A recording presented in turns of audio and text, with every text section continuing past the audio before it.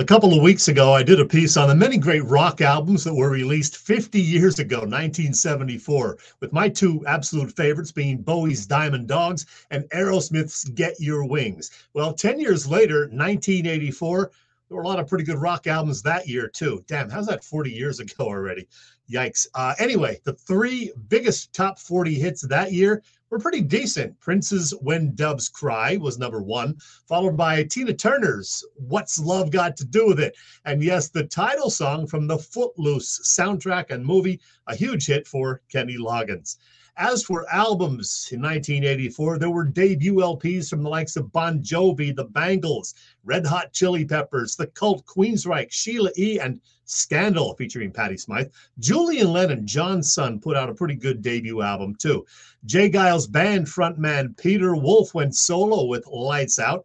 Real good title song. Also, Steve Perry of Journey fame put out his first solo album, Street Talk.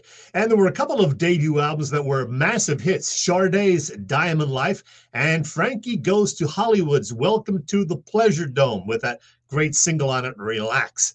Perhaps not rock albums, but there were hit albums like Berlin's Love Life, The Go Go's Talk Show, Hall and Oates, Big Bam Boom, John Waite's, No Brakes, featuring that great song Missing You. The Jacksons' Victory, they did a huge tour the second half of 1984. And how about these three massive hit albums? Wham's Make It Big with the hits Freedom, Wake Me Up Before You Go Go. And oh, yeah, Madonna's Like a Virgin with that memorable title song, plus Material Girl and Dress You Up. Oh, yeah, Tina Turner's fantastic comeback album, Private Dancer, with three or four big hits on there, like, you know, Better Be Good to Me. And as I mentioned, What's Love Got to Do with It?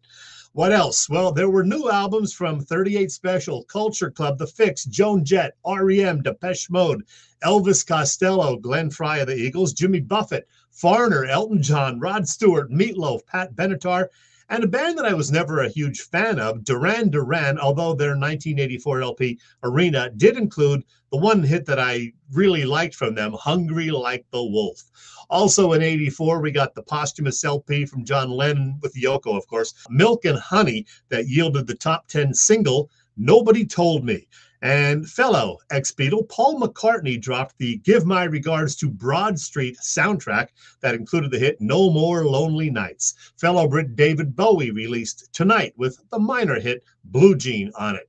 Hard rock and metal fans got albums from Judas Priest, Whitesnake, uh, that LP being Slide It In. You got all of that. Uh, Anthrax, Ratt, Michael Schenker, Krokus, Dio, Dokken, Kiss, Twisted Sister. We're not going to take it. Uh, a reformed Deep Purple, and oh, yeah, Metallica.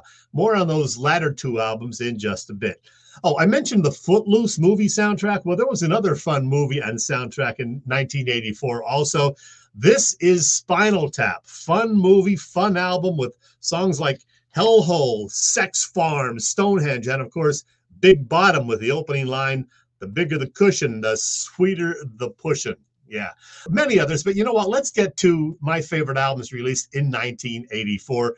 First, I'll show you a graphic of a bunch that didn't quite make my top 10. Let's call these the second 10 or honorable mention from 84. Albums from the likes of Queen, that album being The Works with Radio Gaga on it. Uh, Don Henley, The Kinks, Rush, Joe Jackson. I loved his Body and Soul album. Stevie Ray Vaughan and Double Trouble. And oh, yeah, these two.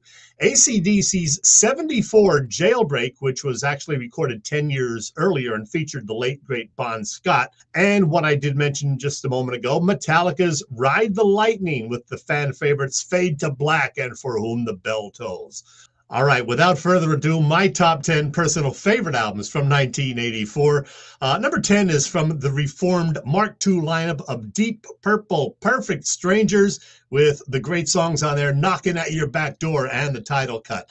Ninth would be an amazing LP from Bryan Adams, Reckless, which had a slew of hits, including Summer of 69, Heaven, and Run to You. Eighth, the fifth studio album from the Cars, Heartbeat City, with the hits Magic, Drive, and You Might Think. Coming in then at number seven, U2's The Unforgettable Fire with the terrific song Pride in the Name of Love, plus Bad on there. I was a huge fan of the Scorpions right from the get go in the early to mid 1970s. And then they hit it real big in 1984 with the release of this one, Love at First Sting. Thanks to the success of Rock You Like a Hurricane, primarily, but also the great power ballad, Still Loving You. So damn good.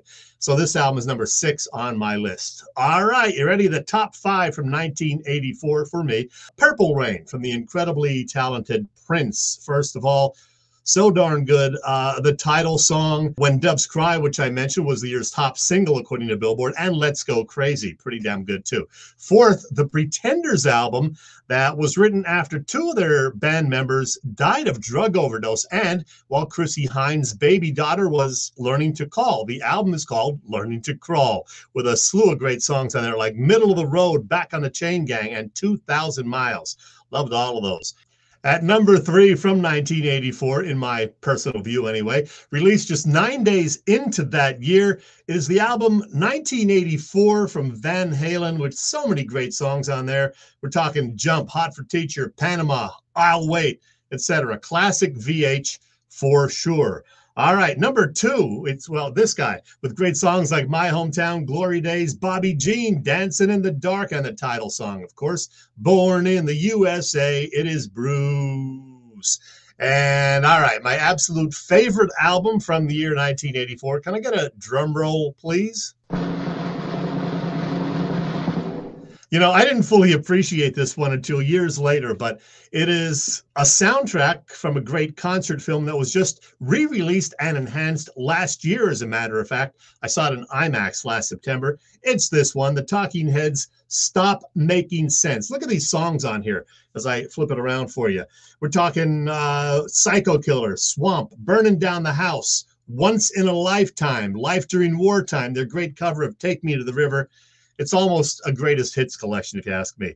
So here again is the graphic of my personal top 10. And who knows, maybe they were some of your favorites, either back in 1984 or at some point after that. And hopefully, some of the albums that I mentioned also will bring back some good memories. So, there you have it a recap of some of my favorite, mostly rock albums from the year 1984. I still like all of those songs and albums all these years later. See ya.